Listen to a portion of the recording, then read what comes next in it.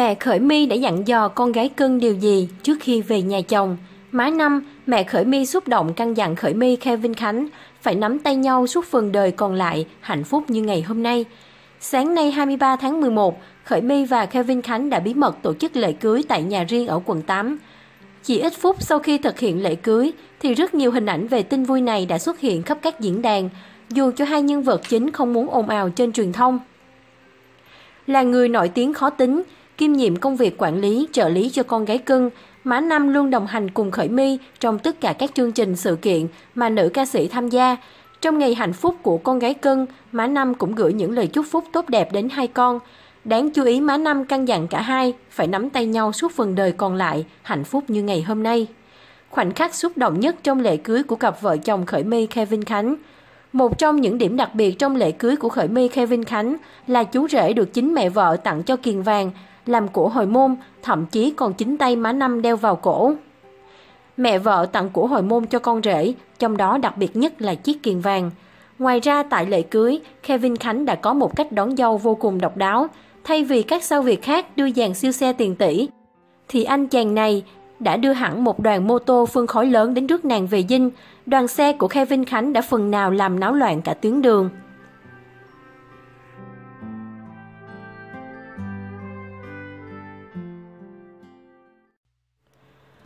Không gian tiệc cưới ngập tràn sắc trắng của Khởi My và Kevin Khánh. Không gian tiệc cưới của Khởi My Kevin Khánh đã chính thức được hé lộ trước giờ đại tiệc. Sáng nay 23 tháng 11, Khởi My và Kevin Khánh vừa bí mật tổ chức lễ cưới tại nhà riêng. Từ trước đến nay, mọi thông tin về lễ cưới của họ đều được giấu kín đến phút chót, từ đám hội cho đến đám cưới. Ngay khi cặp đôi thực hiện các nghi thức của lễ cưới, thì hình ảnh của họ đã được cập nhật nhanh chóng lên mạng xã hội. Cô dâu khởi mi tươi cười rạng rỡ trong bộ váy cưới trắng, còn chú rể Kevin Khánh lại bảnh bao và điển trai trong bộ vest. Anh đã đưa cả đoàn mô tô khủng đến nhà khởi mi để đón cô nàng. Bên cạnh các nghi thức tại nhà riêng, thì cặp đôi sẽ có thêm một buổi tiệc để chung vui với bạn bè vào tối cùng ngày. Phóng viên đã nhanh chóng đến hiện trường để ghi lại không gian tiệc cưới của họ trước giờ lên sóng. Lối vào tại không gian tiệc cưới đã được trang trí bằng nhiều hoa tươi. Khởi My và Kevin Khánh đã thuê một khách sạn tại khu biệt thự riêng biệt ở quận 2 để làm tiệc chung vui cùng bạn bè. Đặc biệt, tiệc cưới này sẽ được thực hiện ở khuôn viên hồ bơi của khách sạn. Khách mời đến với sự kiện này rất ít. Khởi My và Kevin Khánh chỉ mời một số đồng nghiệp thân thiết của họ trong giới showbiz. Mọi người đang ráo riết, trang hoàng sân khấu cho tối nay. Bản tên hai nhân vật chính của buổi tiệc, khu vực dành cho cặp đôi Khởi My và Kevin Khánh cắt bánh kem, Tối nay hứa hẹn sẽ là một buổi tiệc lãng mạn gần gũi và đầy hạnh phúc đến từ cặp đôi được khán giả yêu thương, nhất nhì làng giải trí.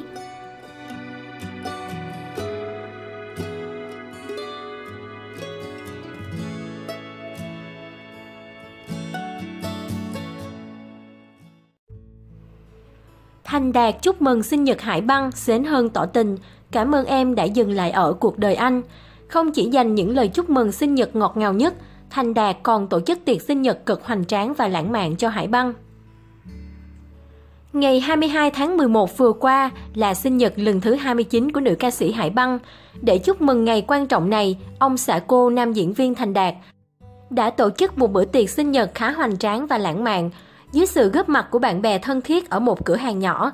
Không những thế, nam diễn viên còn khiến nhiều người phải ganh tị khi dành một lời chúc mừng sinh nhật khá mặn nồng cho Hải Băng trên trang cá nhân. Anh viết, Vợ yêu, với anh không chỉ riêng 22 tháng 11 mà ngày nào cũng là sinh nhật của em. Cảm ơn em đã đi và dừng lại ở cuộc đời anh để cùng bắt đầu những chuỗi ngày bình yên, nơi chỉ có niềm vui hạnh phúc và những nụ cười. Hãy tiếp tục cùng anh đến những chân trời mới. Nơi ấy có những người bạn ta từng quen, có anh, có em, hai thiên thần bé của chúng ta, anh yêu em, bởi vì em xứng đáng. Lời chúc mừng sinh nhật ngọt ngào như tỏ tình của Thành Đạt dành cho Hải Băng. Cặp đôi đã có buổi tiệc sinh nhật đáng nhớ bên nhau cùng bạn bè thân thiết. Từ khi công khai tình cảm đến nay, Thành Đạt Hải Băng luôn thể hiện tình cảm mọi lúc mọi nơi. Hội bạn bè thân thiết của cặp đôi cũng có mặt trong bữa tiệc sinh nhật này. Dù đã có con gái chung, nhưng cả hai vẫn thường xuyên có khoảng thời gian dành cho nhau để hâm nóng tình cảm. Mặc dù đã có khoảng thời gian gần 2 năm mặn nồng, nhưng đây là lần đầu tiên Thành Đạt bày tỏ tình cảm ngọt ngào như vậy với Hải Băng trên trang cá nhân. Chính vì thế, anh nhận được sự quan tâm lớn từ bạn bè lẫn người hâm mộ. Khoảnh khắc tinh nghịch của vợ chồng Hải Băng Thành Đạt và bạn bè. Hải Băng và Thành Đạt chính thức xác nhận tình cảm từ tháng 8 2016 cho đến cuối tháng 3 2017. Cặp đôi khiến cả showbiz xôn xao khi bị lộ thông tin đã có với nhau một con gái đầu lòng. Để khẳng định tình cảm, Hải Băng Thành Đạt đã âm thầm làm lễ hỏi vào ngày 22 tháng 7 vừa qua với sự góp mặt của gia đình hai bên và bạn bè thân thiết. Tuy nhiên cả hai đều chia sẻ với truyền thông vẫn chưa có ý định tổ chức hôn lễ. Bản thân nữ ca sĩ Hải Băng cũng cho biết cô sẽ không làm đám cưới với Thành Đạt dù đã đính hôn và có con chung. Bởi theo quan niệm của Hải Băng, tôi là người không quan trọng chuyện cưới sinh, mà tôi cũng không muốn đám cưới đâu. Có rất nhiều cặp đôi, đám cưới tưng bừng, rồi cuối cùng cũng chia tay. Thà như vậy mà nó lâu dài, tôi sống hơi bị phương Tây nên chẳng đặt nặng chuyện đám cưới. Về mối quan hệ với con trai riêng của Thành Đạt bé Kit, Hải Băng thừa nhận, con riêng anh Đạt gọi tôi là cô, tôi cũng không thích bé gọi mình là mẹ.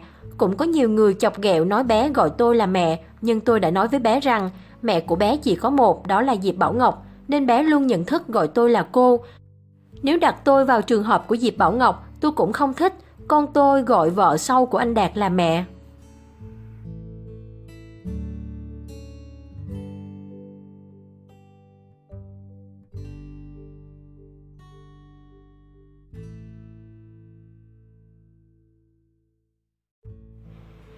Mới tái hôn chưa bao lâu, Lê Phương đã khóc nghẹn vì phải đón nhận những điều không hay khi lấy chồng trẻ kém tận 7 tuổi. Lấy chồng trẻ có lẽ chính cô cũng không ngờ sóng gió lại đến sớm như vậy. Xinh đẹp, tài năng hiền lành, nhưng Lê Phương lại khá lận đận trong chuyện tình duyên. Dẫu vậy giờ đây, cô cũng đã có thể buông bỏ quá khứ buồn và tận hưởng cuộc sống hôn nhân hạnh phúc bên ông xã kém 7 tuổi và cậu con trai cà pháo. Sự chênh lệch tuổi tác không khiến hai nhân vật trong cuộc phiền lòng, Thế nhưng, lại là một bộ phận dư luận dậy sóng và có cái nhìn tiêu cực. Bằng chứng chính là việc, từ hồi nên duyên vợ chồng với Trung Kiên, Lê Phương phải tiếp đón khá nhiều anti-fan trên trang Facebook của mình. Những vị khách không mời mà tới thoải mái buông xả những lời dèm pha, thô tục, nhằm chăm chọc, thậm chí chửi bới nữ diễn viên. Hầu hết các bình luận đều có nội dung mỉa mai chuyện cô có hai đời chồng. Lê Phương muốn sống bình yên với Trung Kiên cũng không yên. Sao em già rồi, bị bỏ nên em dụ con nít để lấy cho đỡ buồn phải không? Thật là đàn bà ngứa mép. Mai mốt nó bỏ thằng này lấy thằng khác nữa chứ gì, diễn viên mấy bà có ai tốt đâu mà làm rùm beng. Không hiểu chủ nhân Facebook này có thù án gì với Lê Phương hay không? Cuối cùng bị nữ diễn viên treo hẳn ảnh lên và nhắn nhủ, chị trông có tuổi mà văn hóa thấp kém thế, con cháu chị đọc được những dòng này chắc vui lắm. Khoe ảnh ngọt ngào của hai vợ chồng, liền nhận về bình luận đọc mồm như thế này, tròn một tháng một đời người còn xa lắm em ơi. Sao mà chảnh tuệ quá, là chồng vợ ai mà không có như thế, mà cứ đem lên bao hình chu môi căng lưỡi đó hoài chưa chán à, em ráng cày để có được biệt thự xe hơi như người ta đi em ơi. Làm cho quá vô rồi mai mốt chia tay, Lê Phương bị một Facebook trù ếm. Một Facebook khác cũng vào trách mắng Lê Phương như đúng rồi. Tại sao dễ quên nhanh quá khứ đến như thế? Mới và cũ xấu và đẹp, thơm và thối, liền bị Lê Phương quở lại. Lê Phương nhẹ nhàng gửi lời nhắn nhủ tới những người ác miệng. Nữ diễn viên thể hiện sự bức xúc dưới phần bình luận. Bạn vừa nói đến quyền tự do ngôn luận đấy à, vậy bạn cũng nên tìm hiểu về luật xúc phạm danh dự nhân phẩm người khác, dù là cố tình hay vô ý thì sẽ bị xử lý như thế nào bạn nhé.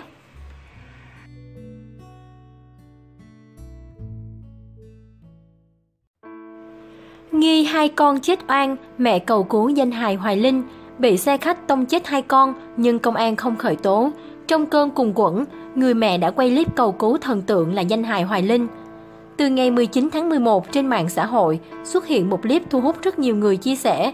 Trong clip là hình ảnh đôi vợ chồng ôm di ảnh hai đứa con gái nhỏ. Người vợ vừa khóc vừa nói là làm clip này gửi đến thần tượng của mình là danh hài Hoài Linh. Chị mong với sức ảnh hưởng của mình, danh hài này sẽ lên tiếng để lấy lại sự công bằng cho gia đình chị. Mất hai con trong chớp mắt, theo tìm hiểu của chúng tôi, đôi vợ chồng trong clip là anh Nguyễn Văn Phú, 35 tuổi, và chị Lê Thị Kim Dung, 30 tuổi, cùng là công nhân, cư ngụ tại phường Tân Bình, thị xã Dĩ An, tỉnh Bình Dương. Ngày 22 tháng 11, phóng viên đã đến nhà vợ chồng anh Phú. Chị Chung kể ngày 13 tháng 2, chị chở đứa con gái nhỏ Nguyễn Thị Thanh Nga, 19 tháng tuổi, đi đón con gái lớn là cháu Nguyễn Thị Ngọc Lan, 10 tuổi, học lớp 4. Trên đường về khi xe đang dừng đèn đỏ, thì bất ngờ chị thấy xe khách lao tới trước mặt mình. Chị hồi tưởng, tôi nghe cái đùng rồi ngã xuống đường mê man tại chỗ. Khi tỉnh dậy tôi thấy mình nằm trong bệnh viện. Tôi nghe chồng nói hai con chết rồi. Tôi rụng rời không hiểu vì sao lại thế. Bệnh viện cho biết chị Chung bị gãy xương sườn, dập phổi, tỷ lệ thương tật lên đến 53%. Đúng là một cơn ác mộng. Càng nghĩ càng đau lòng, tôi tha thứ cho tài xế xe khách, nhưng liệu hai con tôi có tha thứ không? Các con tôi có tội tình gì đâu, chị nói nghẹn ngào. Không khởi tố vì xe khách mất phanh. Chị làm clip cầu cứu danh hài Hoài Linh sau khi nhận được kết luận của cơ quan công an về việc không khởi tố vụ liên quan đến cái chết của các con chị. Theo kết luận của công an, xe khách gây tai nạn là xe loại 29 chỗ, biển số 51B 17641, chủ xe là ông Trần Văn Sơn, 54 tuổi, ngụ quận Bình Tân, thành phố Hồ Chí Minh. Trước khi gây tai nạn xảy ra, ông Sơn đã bán xe này cho ông Trần Thanh Giống, 32 tuổi, ngụ huyện Phụng Hiệp, tỉnh Tiền Giang. Ông Giống thuê tài xế Nguyễn Thái Dương, 37 tuổi, ngụ tỉnh Tiền Giang, đưa đón khách từ Tiền Giang lên Bình Dương. Dù lái xe 29 chỗ, nhưng ông Dương chỉ có bằng lái ô tô hạng B2. Ngày 13 tháng 2, Dương chở khách từ Hậu Giang lên đến Bình Dương. Đến 16 giờ 40, Xe này đi trên đường Mỹ Phước Tân Vạn với tốc độ 55-61 km một giờ.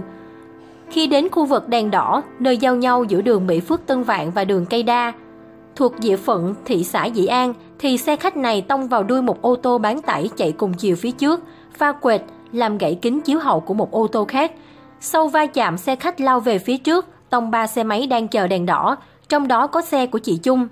Sau khi ủi ba xe máy, xe khách tiếp tục lao về phía trước, tông tiếp một xe máy nữa đang chạy trên đường cây da.